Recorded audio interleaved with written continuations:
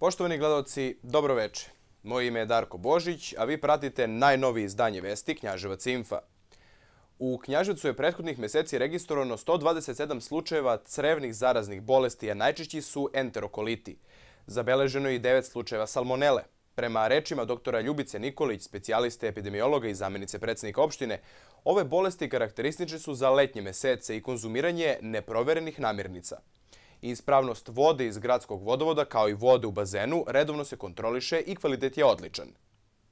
Prethodnih meseci u Knjaževcu je registrovano 127 slučajeva crevnih zaraznih bolesti i prema rečima doktorke Ljubice Nikolić, specijaliste epidemiologa i zamjenice predsednika opštine, najviše je enterokolita, odnosno proliva, a zabeleženo je i nekoliko slučajeva salmonele.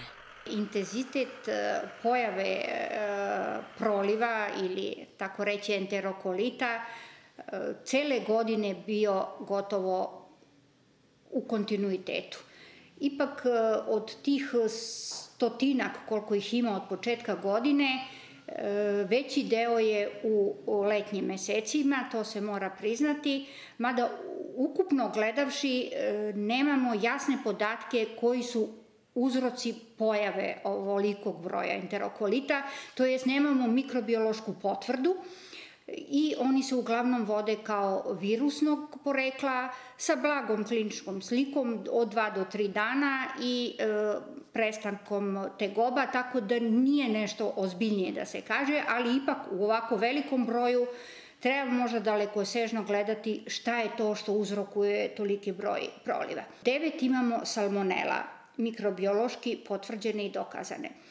To nije previše, ali je njih pet u zadnjih dve nedelje što jeste pokazatelj da ipak u ovim letnjim mesecima na ovakvoj vrućini vrlo je rizično kupovati i hraniti se, da kažem, van kuće ili kupovati namirnice na nesigurnim mestima.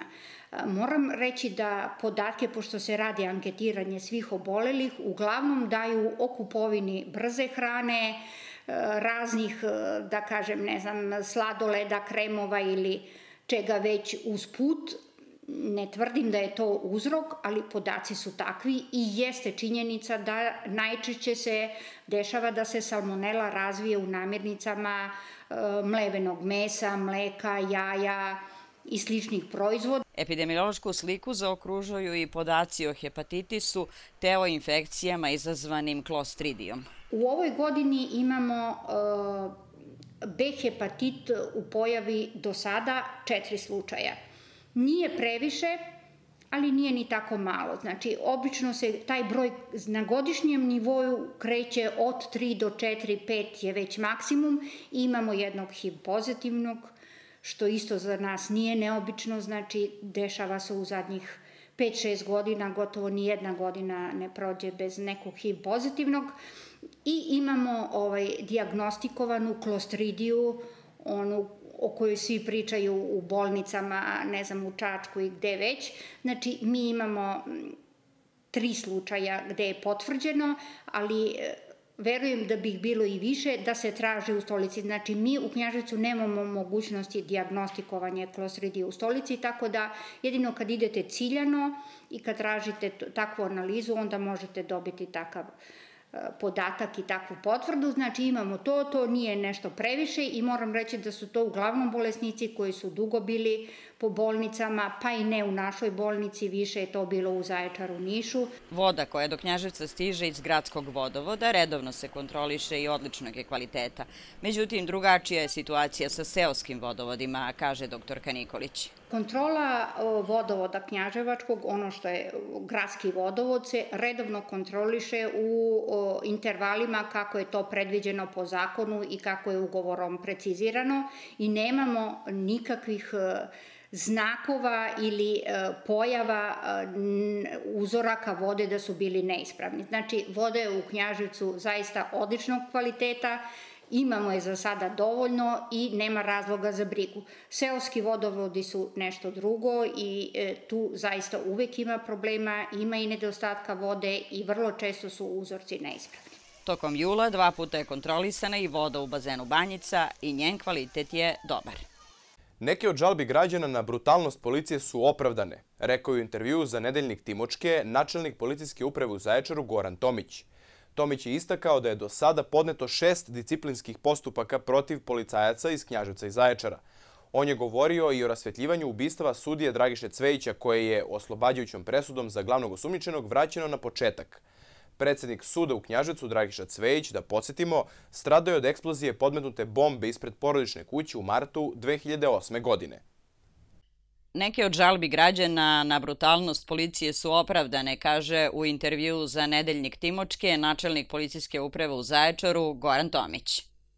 Poslednji slučajevi desili su se nedavno u Zaječaru i Knjaževcu. Međutim, mi smo se vrlo brzo organizovali. Utvrdili smo sve do detalja, upoznali smo tužioca, nadležne starešine u Ministarstvu unutrašnjih poslova i pokrenuli smo disciplinski postupak za sve radnike koji su prekoračili svoje ovlašćenja. Za sada protiv šestorice. Jedan je pripadnik policijske stanice u Knjaževcu, a ostali su iz Zaječara. Tomić je za Timočke govorio i o još uvek nerešenom slučaju ubistva sudije Dragiše Cvejića, s obzirom da je u maju 2012. godine apelacioni sud oslobodio glavnog osumnjičenog Ivana Stojedinovića, postupak je vraćen na početak. Tomić kaže da je formirana radna grupa koja će se baviti rasvetljavanjem tog krivičnog dela. Zatražena je i pomoć uprave kriminalističke policije. Odeljenje za urbanizam, komunalne delatnosti i inspekcijske poslove Skupštine opštine Knjaževac organizuje javni uvid i stručnu raspravu o nacrtima plana generalne regulacije turističkih punktova na Staroj planini. Na javnom uvidu biće plan regulacije Goleme reke sa turističkim punktom Mirica, kao i nacrt plana generalne regulacije turističkog punta Kozarnica. Javni uvid moguće je do 12. septembra radnim danima od 8 do 15 časova u Direkciji za razvoj urbanizam i izgradnju i u zgradi opštine soba broj 44.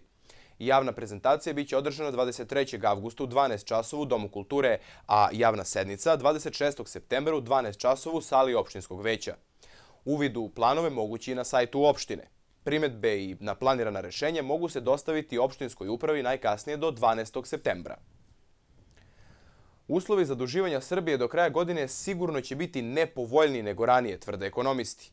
Da bi Srbija redovno izmerivala sve obaveze do kraja godine, mora da se zaduži za oko 2 milijarde evra bruto.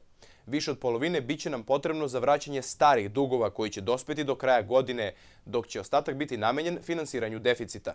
U Ministarstvu financija kažu da su najveći teret za budžet trenutno kamate na kredite koji su uzeti još 2007. godine i za njih je potrebno bezbediti 90 milijardi dinara.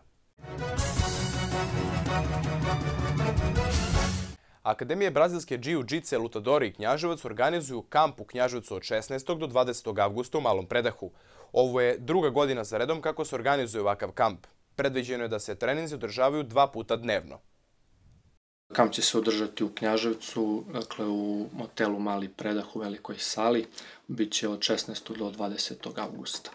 E, cilj kampa je da se na jednom mestu okupe ljudi koji vežbaju brazilski jiu-jitsu iz različitih klubova iz zemlje i inostranstva ovaj, radi unapređenja tehničkog nivoa, radi promocije brazilske jiu-jitsu i razmene iskustva. E, kamp će voditi glavni trener Lutador tima Mateja Valjarević i na kampu će učestvovati oko 45 takmičara iz e, osam klubova iz Srbije i iz Bugarske.